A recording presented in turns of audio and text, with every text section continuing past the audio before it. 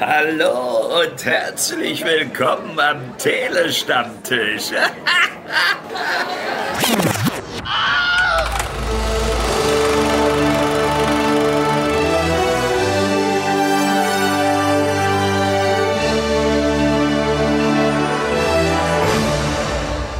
Hallo, willkommen zum Telestammtisch, zu unserem Ersteindruck der zweiten Staffel Reacher. Die ist am 15. Dezember exklusiv bei Prime Video gestartet und ich will ehrlich sein, hier haben sich die Creme de la Creme des Telestammtisches versammelt, denn hier sind drei Leute zusammengekommen, die die erste Staffel schon gesehen haben und sehr mochten. Und das ist zum einen die Theresia. Hallo Theresia. Hallo. Dann ist der Sven auch am Start. Hallo Sven. Hallo. Und ich bin normalerweise der Stu. Ich klinge aber vielleicht gerade ein bisschen anders, aber ich bin erkältet. Aber Reacher beschwert sich auch nicht, also habe ich gesagt, scheiß drauf, ich mach das heute hier, was soll's denn? Echte Männlichkeit zahlt sich immer aus, deswegen auch ein Hallo von meiner Seite aus. Ihr Lieben, bevor wir uns jetzt darum kümmern, ob die erste Staffel, äh Quatsch, die zweite Staffel uns bislang gefallen hat und ob wir empfehlen würden, sie weiterzuschauen, erstmal so ein bisschen, ja, gehen wir mal von hinten an. Und zwar Lee Child der hat ja Jack Reacher als Romanfigur erfunden und etabliert. Ich weiß gar nicht, wie viele Kurzgeschichten und Romane es mittlerweile gibt. Es sind einige. Ich selbst habe seit gefühlt einem Jahr ein Band an meinem Bett liegen, der tatsächlich dazu aktuell nur dient, dass äh, ich da mein Tablet abends abstelle, aber ich habe es noch nicht gelesen, wenn ich ehrlich bin. Aber Theresia, kennst du die literarische Vorlage von Jack Reacher und wenn ja, wie stehst du zu ihr? Ähm, ja, ich kenne sie. Ich habe, glaube ich, Band 1 bis 8 gelesen aktuell, aber ich habe so, mhm. ich glaube, 9, 10 befindet sich aber schon auf meinem E-Book, aber ich komme nicht dazu, die zu lesen. Bin aber erst auch auf die Bücher gestoßen, nachdem, nachdem ich den ersten Film damals mit Tom Cruise gesehen hatte. Und ich muss sagen, äh, Filme, Bücher, Serien, ich mag sie alle. Äh, ne, nach dem ersten Reacher mit Tom Cruise habe ich mir tatsächlich die Hörbücher besorgt. zu faul zu lesen. Und bin glaube ich, über zwei gekommen, aber das Problem ist, dass ich es immer zum Einschlafen höre und das nicht lang hält. Aber ich finde es jetzt gar nicht so schlecht. Und ja, den zweiten Reacher mochte ich aus, auch, aber mit der Serie haben sie halt natürlich dann echt eins draufgesetzt. Ja, also die Serie wurde ja auch wirklich damit teilweise beworben, hey, jetzt habt ihr endlich den Reacher, den ihr haben wolltet, denn Reacher wurde im Kino ja von zweimal von Tom Cruise gespielt und ich muss sagen, der erste Jack Reacher Film ist, ist super, den gucke ich mir noch gerne an, den zweiten mochte ich nicht mehr so, aber der erste, das ist so ein, so ein so ein Film, den kann ich mir gefühlt einmal mehr angucken. Mhm. Ich finde den echt toll. Mhm. Ähm, und finde auch, dass Tom Cruise seine Sache gut macht, aber die literarische Vorlage ist nun mal so, da ist Jack Reacher halt einfach ein, ja, ein Schrank, ne? Und seien wir ehrlich, Tom Cruise ist kein Schrank, es ist halt Tom Cruise. Und jetzt spielt er halt eben in der Serie Alan Richson und der hat einfach, ja, die nöt notwendige Physis, aber zumindest in der ersten Staffel war es so meiner Meinung nach, er hat auch das notwendige Charisma. Der hat einfach die Ausstrahlung, dass ich ihm immer gerne zugucke, egal ob er jetzt Leute verprügelt, ob er irgendwie versucht, einen Pfirsichpie zu essen oder ob er irgendwie ermittelt. Sven, wie hat dir denn dieser Umbruch, der nächste Mal gefallen, von Tom Cruise zu Al Richard? Hat dir das Spaß gemacht? Fandest du das unpassend oder sagst du ganz klar, ey, es gibt nur einen Jack Reacher und das ist Tom Cruise oder Al Richardson? Ich habe mit der ersten wirklich ein bisschen gebraucht. Ich habe sie zweimal angefangen, weil ich mich damit echt schwer tue. Also ich fand den ersten Jack Reacher, ja, ich wusste, dass er riesig ist, also Neandertaler XXL. Und dann hast du Tom Cruise, aber der hat seine Sache gut gemacht. Und dann dachte ich mit der Serie, oh, ich weiß nicht. Hab's zweimal angefangen, beim zweiten Mal war ich dann wirklich hooked und hab's durchgezogen und dachte, okay, Film kann ich Film sein lassen, aber Hutchinson ist, äh, ist einfach Jack Reacher. Das nicht Hutchinson, Richardson. Richardson. Warum Hutchinson ist der Dude aus Five Nights at Freddy's. Das genau. ist andere. Herrgott. Okay, dann wissen wir auch insgeheim, welches Wunschcasting Sven hatte für Jack Reacher. Theresia, wie sieht es bei dir aus? Ähm, wie gesagt, ich kannte eben zuerst Tom Cruise in der Rolle und ich habe erst durch das Lesen von den Büchern äh, erfahren, dass der irgendwie äh, drei Köpfe größer ist wie Tom, Tom Cruise und halt wirklich so ein Schrank ist.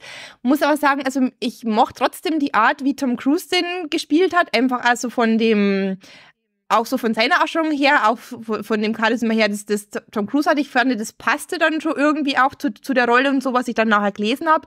Aber natürlich optisch ähm, haben sie es natürlich noch mehr angeglichen. Also da ist natürlich jetzt halt ähm, Ellen sehr weit vorne. Aber für mich fehlt noch so, so ein bisschen so ein, so ein, so ein ja, so das, dieses letzte i-Tüpfelchen, was irgendwie heute äh, Tom Cruise in der Rolle noch äh, hinzugefügt hatte. Ich weiß auch nicht. Also ich mag sie beide ich glaube halt einfach, was Alan Richardson halt nicht hat, was aber, ich finde, in der Rolle gut tut, er ist halt kein Star. Mhm. Also er ist noch kein Star. Das heißt, du kannst ihn noch relativ umformen. Wenn du Tom Cruise siehst, hast du immer, weißt du immer, das ist Tom mhm. Cruise, egal wie charismatisch und gut er das macht. Ähm, und bei Alan Richardson, du siehst halt nur, ey, der ist groß und du kannst dir schon vorstellen, wenn der zu langt, das wird wehtun. Und dann langt er zu und dann, ja, es tut auch weh.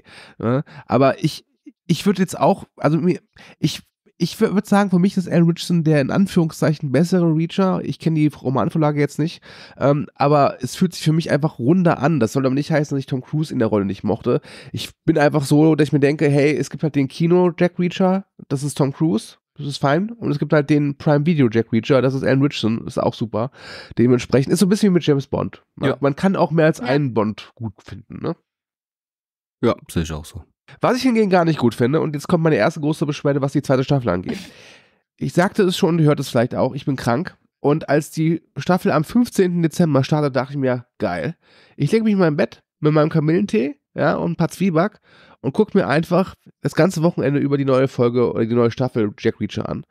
Und dann das böse Erwachen, es wurden nur drei Folgen veröffentlicht, die restlichen fünf Folgen erscheinen wöchentlich. Und ich weiß nicht, wie es euch gegangen ist, aber ich habe nicht das nicht in Erinnerung gehabt, dass es so kommuniziert worden ist. Es wurde, glaube ich, gar nicht kommuniziert, wie es veröffentlicht wird. War der Schock für euch auch so groß oder sagt ihr euch so, ach Gas, das weiß doch gar nichts? Sven, bitte, gib mir recht. Oh, ich habe geflucht. Ich habe geflucht und ich habe getobt gestern Abend. Weil ich die ersten drei Folgen wirklich so schnell durchgeguckt habe und dachte noch, ey, da geht keine 50 Minuten, sondern geht eine, eine halbe Stunde und gucke und denke, oh, doch 50. Und gerade dann, als ich mich innerlich wirklich, als ich mein Rambo-Stirnband ausgepackt habe, mir meinen Oberkörper, mein Hemd zerrissen und mich schon gefreut habe auf den nächsten Kampf und Fight, weil es jetzt anscheinend nochmal richtig rund geht, war es vorbei und ich denk, ey nee, nicht ernsthaft. Jede Woche eine Folge. Wollt ihr mich verarschen? So. Ja, kann ich nachvollziehen. Also, ähm, ich hatte schon befürchtet, dass es dass jetzt die nicht einmal jetzt drei Folgen haben, sondern einfach wirklich jetzt jede Woche eine Folge, was ich ja auch schon schlimm genug fand. Aber das ist jetzt ja gleich, gleich noch etwas gemeiner, ähm, uns jetzt quasi anzufüttern mit drei Folgen und jetzt zu sagen, ja, jetzt müsst ihr aber wöchentlich warten. Es tut mir leid. Es ist halt in der Hinsicht scheiße, weil zum einen, sie hätten es klarer kommunizieren müssen. Es kann natürlich mhm. sein, dass unter irgendeinem YouTube-Trailer-Video das zerstand, aber äh, ich, der auch teilweise Pressemails bekommt, da stand das auch nicht drin. Ähm, ich kann es natürlich verstehen, weil die erste Staffel war ja überraschenderweise sehr erfolgreich. Und eine dritte Staffel wird ja auch gerade produziert. Es kann so dadurch sein, dass wir heute in einem Jahr quasi die dritte Staffel zu sehen bekommen. Ähm, also ich kann es schon verstehen und ich finde auch manche Serien äh, die tut das gut, nur eine Folge pro Woche. Und man kann ja auch immer sagen, hey, dann warte ich halt, bis es komplett ist. Aber trotzdem, ich hatte mich so, wirklich so darauf gefreut. Das war so mein, mein, eines meiner Jahresend-Highlights. Einfach wirklich nur meine Grippe auskurieren und dann Jack Reacher Staffel 2 gucken. Ich hatte mir sogar die erste Staffel jetzt nochmal so phasenweise angeguckt, nochmal neu, und um in den Reacher-Vibe zu kommen. Und ähm, ja, jetzt ist es halt so, wie es ist. Die ersten drei Folgen sind draußen und äh, die restlichen fünf Folgen kommen im wochenlichen Rhythmus. Und eins kann man sagen, ich weiß nicht, wie es euch gegangen ist. Die dritte Folge endet so, dass ich dachte, ihr Arschlöcher, ich will jetzt wissen, wie es weitergeht. Weil es wirklich so auf so einer auf so eine Klimax zusteuert, dass man sich denkt, okay, ja, es wird jetzt nicht die ganz große Klimax sein, denn das ist Folge 4, aber es lässt die Hoffnung offen, naja, dass es, äh, dass ein Action-Highlight erwartet in der vierten Folge. Äh, das war halt jetzt wirklich irgendwie so, also ich würde nicht sagen, das jetzt so quasi die Vorgeschichte war, aber dafür hat schon eigentlich zu lange gedauert und man hat ja schon zu viel erfahren. Aber du hast halt wirklich jetzt halt am Ende von dieser dritten Folge gedacht, okay, ab der nächsten Folge geht's rund und hast halt wirklich drauf gewartet und gedacht, wieso kann es jetzt nicht weitergehen? Wie gemein ist denn das? Vor allem, weil sie halt auch immer die richtigen Schlagworte benutzen. Mehr ja. Waffen. Und du hockst nur da und denkst, ja, natürlich brauchst du mehr Waffen. Das ist schon logisch. Los, los, hol sie. Und dann ist fertig. Und dann hockst du da und denkst, ah, nee, eine Woche warten. Oh, das ist echt bitter.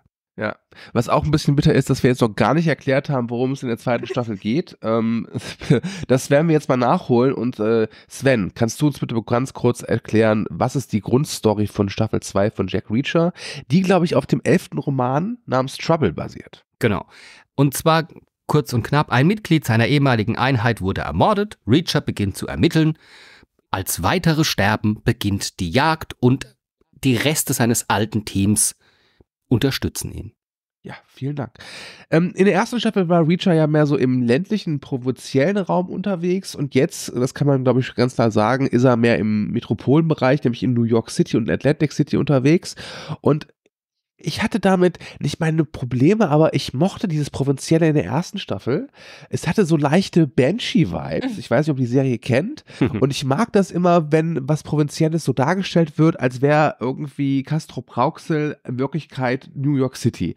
Ähm, ich mag das. Ich finde das charmant. Und jetzt ist es halt relativ ja, Großstadt und gefährliche Gangster und äh, vermutlich eine Verschwörung. Wir wissen auch noch nicht so richtig, worauf es hinauslaufen wird. Ähm, Sven, wie hat dir denn dieser, ich nenne es mal, Settingwechsel gefallen? Also das ländliche hat mir auch gut gefallen und mit der Stadt dachte ich mir nur, okay, gut, du kannst, du kannst eine ganze Stadt in Schutt und Asche legen. Leg los. also mir hat das Setting gut gefallen. Ich habe mich auch gleich dran gewöhnt, auch wenn es manchmal so ein bisschen komisch ist, weil es dann irgendwo Schießereien gibt, wo ich mir denke, naja, da müsste jetzt eigentlich auch schon etwas schneller die Polizei da sein.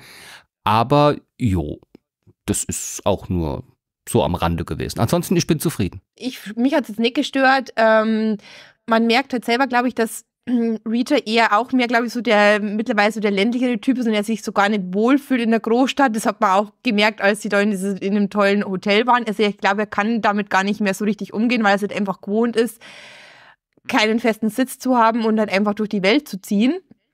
Ähm, ich kenne es aber auch von den Büchern her, dass sich das immer mal wieder abwechselt, aber mich hat es nicht gestört. Ich finde eigentlich jetzt ganz spannend, was jetzt hier noch alles so passiert was ja auch anders ist, äh, in der ersten Staffel war es ja so, dass er unbekannt war für die Leute, die mit ihm interagieren müssen. Äh, und jetzt haben wir es ja so, dass seine ehemalige Einheit zu ihm dazustößt und die wissen natürlich, wozu er fähig ist. Und das war in der ersten Staffel immer ganz, ganz interessant und reizvoll, dass man immer so einen Spaß dabei hatte, zuzugucken, wenn Leute sehr äh, schockiert waren, wenn Reacher dann relativ ruhig war und plötzlich aber zeigt, was er konnte. Und das fehlt in der zweiten Staffel, zumindest in den ersten drei Folgen, äh, komplett. Ich kann verstehen, dass ich es dass ich, dass ich nicht mehr integriert habe, weil es äh, läuft sich halt irgendwann auch tot.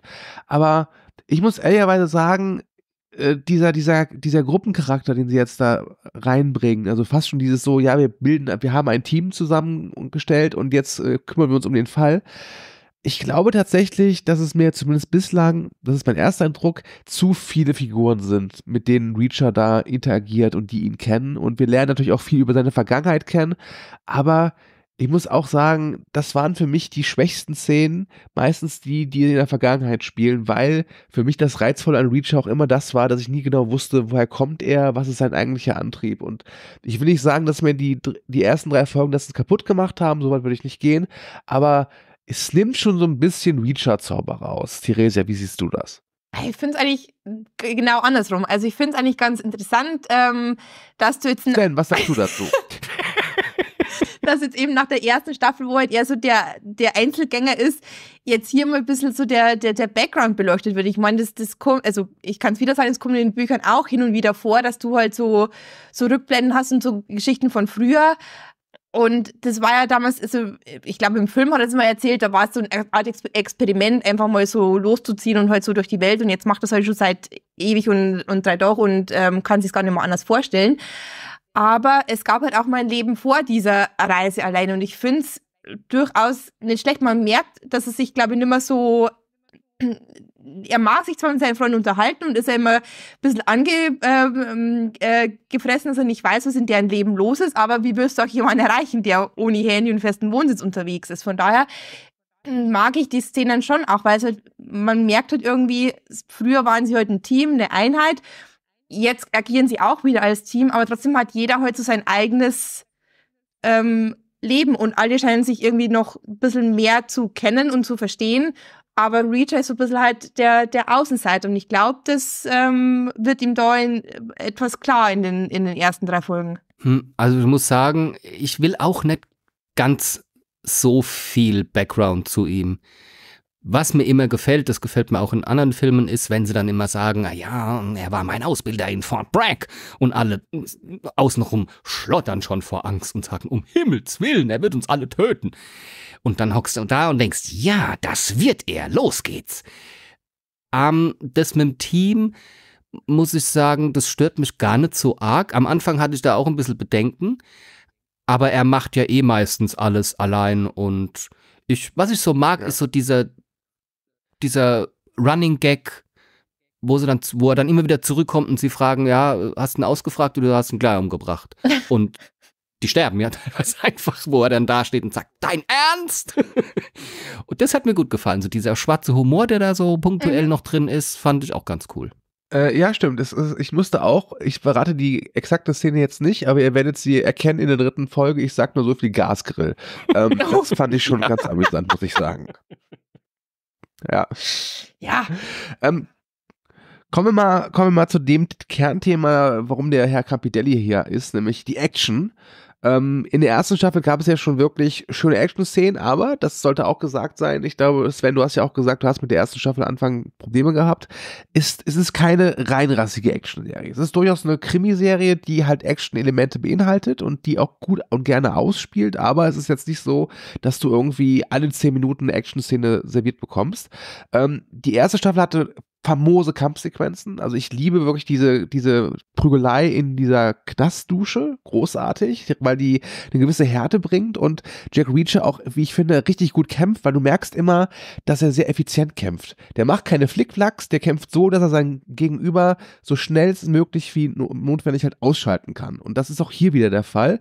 Ähm, Deswegen auch hier in den ersten drei Folgen actionmäßig, finde ich, wird einiges geboten. Muss aber auch ganz klar sagen, vielleicht liegt es an der Gewöhnung. Ähm, die erste Staffel hatte da in der Sachen Action, zumindest in den ersten drei Folgen, bei mir ein etwas, wie soll ich sagen, etwas mehr Durchschlagskraft Mhm. hinterlassen, ein bisschen mehr Eindruck hinterlassen. Trotz allem hat mir die Action in Staffel 2 bislang gut gefallen. Sven, wie ist es bei dir? Ich mag's. Ich mag's wirklich. Sie haben's schön verteilt und du freust dich einfach auf jeden neuen Kampf, weil sie halt auch die typischen Schlagworte benutzen. Wir brauchen mehr Waffen. Und das kommt nicht nur einmal in irgendeiner Folge vor, sondern es kommt immer wieder mal vor, Waffen. Und du denkst, mhm, Waffen. Nee, ich bin vollkommen zufrieden. Und ich finde, die Action ist wie immer super gemacht. Sie ist noch nicht so hart wie im ersten, finde ich. Hm. Aber wir haben ja noch fünf Folgen. Ja, fünf Wochen Reacher-Spaß. Das heißt, bis Ende Januar haben wir noch äh, Freude an der Serie. Ja. Theresia, die Action in Staffel 2 bislang. Gut, schlecht, mittel, deine Meinung. also das, was ich bis jetzt gesehen habe, hat mir gefallen. Es waren wirklich so, ich habe ähm, zufälligerweise gestern auch nochmal die erste Folge der ersten Staffel angeschaut und ich habe auch wieder diese die, die Duschszene da gesehen, also diese Kampfszene fand ich wirklich auch Mhm. großartig, also auch choreografiert, sowas fehlte mir bis dato noch, aber wie gesagt, es kommen ja noch fünf Folgen, also ich denke, das wird sich schon noch ähm, etwas steigern und ähm, ich finde eben auch wirklich die Mischung gut zwischen, zwischen Action, zwischen der, Ermitt zwischen der Ermittlerei, weil man merkt, das habe ich jetzt auch nochmal in der, in der ersten Staffel halt gemerkt, er ist ja nicht nur diese Kampfmaschine, sondern ist ja auch wirklich schlau und er ist ja wirklich auch ein Beobachter und, und zieht daraus seine Schlüsse. Es hat schon so leichte ähm, Sherlock Holmes-Vibes, der halt dann einfach ähm, bestimmte Sachen halt ähm, gut herauslesen kann aus den Personen, aus den Situationen. Hm. Und ich mag halt auch den Humor. Also ich finde, das ist echt ein gutes, rundes Paket, die Serie. Ja, also der Humor, der fällt mir auch immer wieder auf, weil ich auch das Gefühl habe, Reacher ist eine Serie, die schafft es sehr gut, die nimmt sich halt nicht zu ernst, aber sie ist gleichzeitig kein Meta-Lachfest. Ähm, es gibt einen Meta-Gag, muss ich sagen, wo ich dachte, ach, das, das war mir dann doch ein bisschen Ja, zu billig, Ich glaube, das ist. denn äh, ja. Robert, Robert Patrick spielt mit. Mhm. Ähm, und es gibt einen Verweis auf Terminator und dieser Verweis ist so plump, dass ich mir wirklich dachte, oh Leute, also es- ja, kann man machen, aber das habe ich nicht rausgerissen, aber das war, das war mir jetzt too much. Ich glaube, wir wissen alle, welcher Verweis gemeint ist. Ne? Ja, ich fand es erst so offensichtlich und habe mir gedacht, nee, bitte jetzt nicht äh, gerade diesen Gag, das ist nicht euer Ernst. Das fand ich auch ein bisschen so, ja, ist okay, ich hab's verstanden, dass der mitspielt. Ja, Sven, du darfst jetzt sagen, dass du das ganz großartig findest. Mm, Nein, fand ich nicht. Nee, ich fand's, mich hat es jetzt nicht groß gestört. Das Einzige, was mich tatsächlich so ein bisschen entsetzt hat, ist, wie er aussieht. Der sieht echt fertig aus. Er ist halt alt geworden, der Robert. ja, aber der ne? ist muss man aufgedunsen. Also der sieht, wenn du den, ah, ich finde, der sieht, der sieht nicht, das sieht nicht gesund alt aus irgendwie. Vielleicht haben sie ihn auch nochmal geschminkt, aber naja. Ja, also ich finde, das geht schon. Also bei ihm ist das größte Problem, wie ich finde, halt einfach, du siehst ihn und weißt sofort, Schurke. Und das äh, nimmt dann immer so ein bisschen Spannung mit raus. Äh, aber ja, es stimmt schon, er ist halt alt geworden und ich habe ihn zuletzt gesehen in dieser Serie Scorpion. Mhm. Weiß nicht, ob ihr die gesehen habt. Da war er auch äh, Teil des, des, des Casts und ja, der ist halt einfach älter geworden. Aber ich weiß nicht, ich sehe den halt immer gerne. Und nicht nur als T1000, sondern eben auch egal was. Und äh, es ist schön, dass er hier eine Rolle hat. Ähm, was ich zum Thema Metagag noch äh, hinzufügen wollte, ist euch aufgefallen, dass die zweite Staffel Bezug nimmt auf den ersten Tom Cruise? Ja, Nee. ich hab's gehört. Also es ist, glaube ich, in der, in der Autofahrt, wo die dann irgendwie rätseln, wer wer es gewesen sein könnte. Und dann hat erwähnt einer den, den Namen James Barr. Und das ist ja quasi die Referenz auf den Ah. ersten Tom Cruise-Film. Genau, denn es wurde ja immer so von den Fans so, also die richtig harten Jack Reacher-Fans hassen ja wirklich die Tom Cruise-Filme. Und gerade wohl der erste Film basiert wohl auf dem Roman von Jack Reacher, der besonders beliebt ist. Deswegen wollen wohl Fans jetzt, dass Alan Richardson das als Remake, Serien-Remake nochmal, den Fall nochmal aufrollt. Und damit haben die Macher quasi gesagt, Leute, tut mir leid, aber in diesem Jack, Reacher-Universum äh, ist das schon alles passiert. Und ich find's gut. Ja, man muss ja Also sagen, ich- also ich habe das brauch jetzt, ich habe das auch nochmal nachgelesen. Also äh, die Geschichte, wo es um, um James Barr geht, ist ja auch quasi Band 9 und wir verfilmen jetzt gerade Band 11. Ist also schon alles passiert. Da kann noch einiges kommen. Es gibt genügend Es gibt Munition, genügend andere. Es, also er hat sehr viele Bücher geschrieben und äh, auch die, die ich gelesen habe, waren alle sehr gut. Die kann ich mir auch alle sehr gut vorstellen. Wenn dieses, äh, wenn diese Unterhaltung in der zweiten Folge war, war ich wahrscheinlich von seinem freien Oberkörper so geblendet, dass ich den Rest unaufmerksam verfolgt habe. Du warst nur wieder irgendwie heimlich auf dem Weg zur Küche, um was zu futtern zu holen. Nein, nein, da bei Reacher mache ich Stopp. Uh, oh, oh, das ist ein Qualitätsmerkmal. Also das ist wirklich das oberste Qualitätsmerkmal. Wenn Sven bei einer Serie oder einem Film auf Pause drückt, um sich was zu futtern zu holen, das macht er selten. Ja, das stimmt. Wirklich. Aber hier habe ich es gemacht, weil äh, du verpasst vielleicht schon den nächsten schnellen Kampf. Das kann ja nicht sein. Es gibt eine Figur, über die möchte ich noch gerne reden. Äh, danach könnt ihr gerne noch eure Meinung mit reinbringen, die mir jetzt zwar egal sind, aber was soll's. Und zwar gibt es ja die Figur der Neely, gespielt von Marie Stan, die auch in der ersten Staffel schon mit dabei war. Und das ist, glaube ich, mit einer der wenigen Figuren, mit der Reacher halt immer wieder Kontakt hat, auch in den Büchern. Und ich finde sie hier zu omnipräsent. Ich weiß nicht warum, aber es gibt in dieser Gruppe, mit der er interagiert, gibt es für mich interessantere und spannendere Figuren als diese Neely. Und ich weiß, dass in jeder Staffel er neue Figuren trifft und die alten kommen wahrscheinlich nicht mehr vor. Aber ich finde halt gerade in der ersten Staffel hat das so gepasst mit dieser jungen Polizistin und diesem äh, Oscar Finlay. Und irgendwie, ah, ist, ich finde es schade. Ich finde Neely halt irgendwie als Figur ziemlich öde und ich hätte mir fast schon ein bisschen gewünscht, dass die Polizistin und der Oscar Finlay aus äh, der ersten Staffel wieder dabei wären, was sie nicht sind. Wie hat euch denn das gefallen mit Neely, Sven? Äh, ich mag sie. Ich finde sie jetzt gar nicht so nervig und auch nett. Müsst ihr mir heute alle Widerworte geben? Was soll denn das? Was seid ihr für Drecksteam? Ich habe Ist die ja schlimm. ganze Der letzten, Bessere aus. Tut mir leid. ganzen letzten Casts habe ich dir nur zugestimmt. Ja, das waren die besten Casts deines Lebens, wirst du noch sehen. Nein, also ich, mich stört sie nicht. Ich finde, es ist so ein guter äh, Gegenpart und ja, ich finde es eigentlich immer ganz angenehm, wenn beide so ein bisschen quatschen. Ich finde eher die anderen uninteressant Ja. Als, nö, also bei Nili, nein, widerspreche ich dir. So. Also sorry, der, der, die beste Figur ist dieser komische O'Donnell, weil das der, wirklich der Typ ist, der kommt zu einer Schießerei mit einem Messer. Großartig. So, Theresia, deine Meinung zu Neely. Ähm, ich habe auch nichts gegen sie. Also ich mag sie, also ich mag sie lieber als zumindest die andere Tante, wo ich mir gedacht habe, okay, jetzt kommt dann die an und dann ist dieses Love Interest und ich habe mir gedacht, nee, also ich hätte eher auf den Part verzichtet. Genau.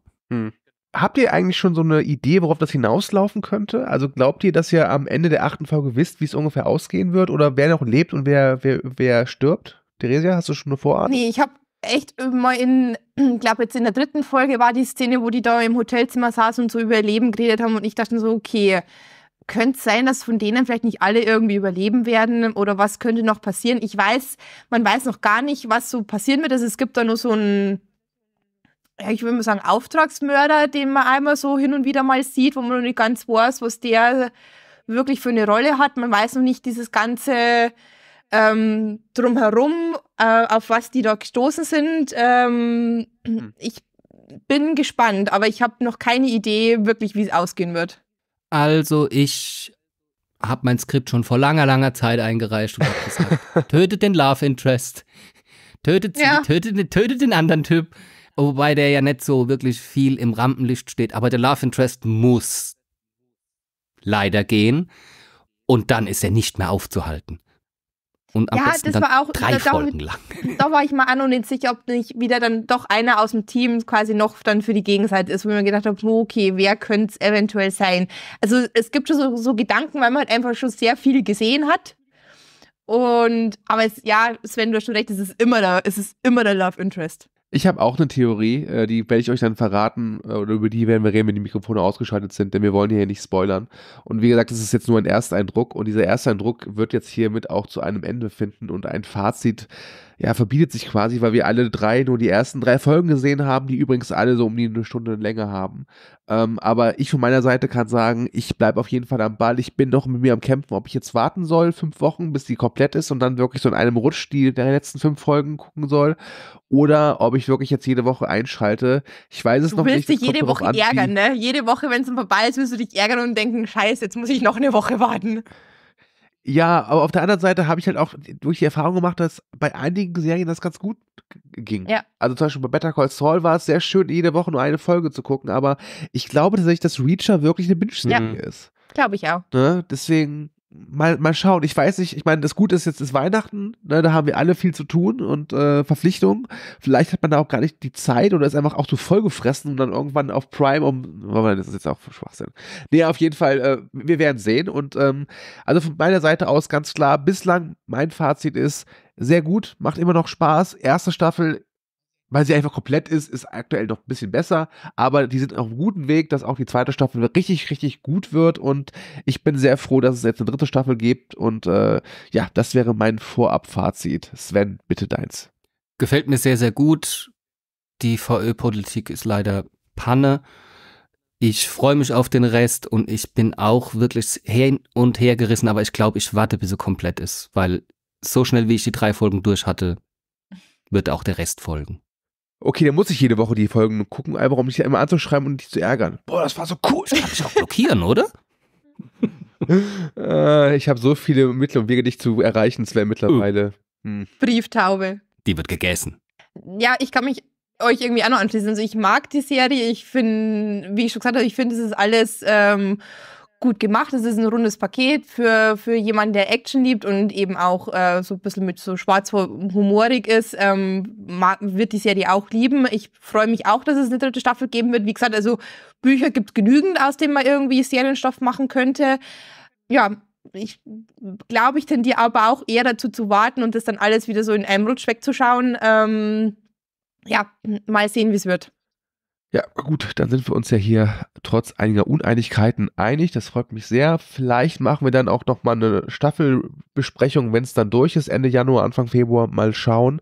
Das ist eine Planung, die verschieben wir aufs nächste Jahr, denn dieses Jahr ist fast vorbei. Das heißt, wir haben Weihnachtszeit. Das heißt, es gibt einen Adventskalender vom Telestammtisch. Könnt ihr gerne mal reingucken. Gibt es überall bei Social Media, Instagram, Facebook und wie heißt es? Ex-Twitter, das heißt, ist ja egal.